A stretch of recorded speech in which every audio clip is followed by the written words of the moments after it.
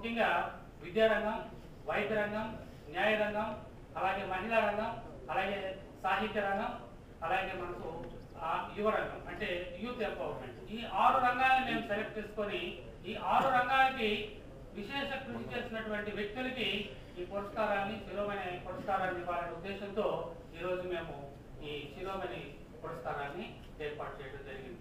ముఖ్యంగా విద్యా శిరోమణి పురస్కారానికి వస్తే ఆచార్య వెంకటరెడ్డి గారు. వారు ఒక కుగ్రామం నుంచి ఒక అత్యున్నత స్థాయి అయినటువంటి వైస్ ఛాన్సలర్ స్థాయికి ఎదిగి శ్రీ కృష్ణదేవరాయ విశ్వవిద్యాలయాన్ని దశ దిశగా వారు ఆ మూడు సంవత్సరాల్లో కూడా చాలా వ్యాప్తి చెందించి చెందించి ఈ రోజు ఒక మంచి బలీనమైన విశ్వవిద్యాలయంగా కూడా వారు తీర్చిదిద్దారు. ఆ రోజు అనేక గ్రాంట్స్ కావచ్చు లేకపోతే పర్మనెంట్ బిల్డింగ్స్ కావచ్చు అనేక కొత్త కోర్సులు ప్రవేశపెట్టడం కావచ్చు తర్వాత సిబ్బంది నియామకం కావచ్చు అలాగే చాలా కార్యక్రమాలు వారి హయాంలో రొంపిచర్ల ఆ పరిసర ప్రాంతాల్లో మనం చూస్తే అలాంటి గ్రామంలో పుట్టి పెరిగి ఈరోజు ఒక అత్యున్నతమైన న్యాయమూర్తిగా ఎదిగి వారు చాలా సేవలు చేశారు. వారు చాలా కీలకమైన జడ్జిమెంట్స్ కూడా ఇచ్చారు. ఎందుకంటే మేము ఆ హైకోర్టుకు సంబంధించిన లా రిపోర్ట్స్ చూసినప్పుడు చాలా అంటే ఒక నిష్ణాంతమైన జడ్జిమెంట్స్ ఇస్తూ పోరాడుతూ వారు ఈ న్యాయ రంగానికి చాలా విశేషమైన కృషి చేశారు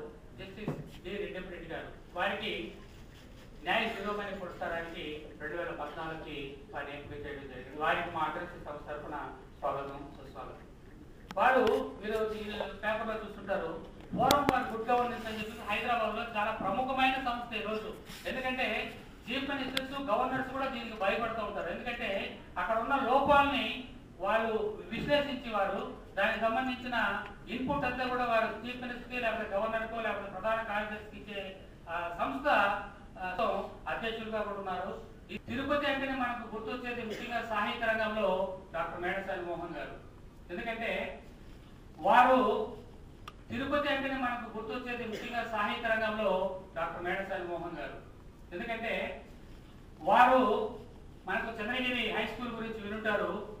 వారు ఎంత డిసిప్లిన్ అంటే ఆ రోజుల్లోనే అంటే ఎనిమిది సంవత్సరాలు తొమ్మిది సంవత్సరాల వయసులోనే మన యొక్క పురాణాలన్నింటి కూడా బట్టి పెట్టి ఒక రకంగా మొత్తం ఎక్కడ అడిగినా కూడా అవలీలగా ఆ రోజుల్లోనే అంటే అంత చిన్న వయసులోనే వారు ఆ పద్యాలన్నీ కూడా వారి గురువులకి తర్వాత మిత్రులకి అలాగా అ- అప్పచెప్తూ ఉంటే మొత్తం మీద ఈ బాలుడు భవిష్యత్తులో ఒక మంచి సాహితీవేత్త అవుతాడు అనేసి ఆ రోజే వారి గురువులు వారిని ఆశీర్వదించారట. ఎందుకంటే నాకు అక్కడ ఉన్న హెడ్ మాస్టర్ కావచ్చు లేకపోతే కొంతమంది టీచర్స్ కూడా ఎందుకంటే నేను కూడా అదే స్కూల్లో చదివినాను కాబట్టి మాకు సీనియర్ కాబట్టి మేము సార్ గురించి మాకు బాగా చెప్పేవాడు ఆ రోజుల్లో.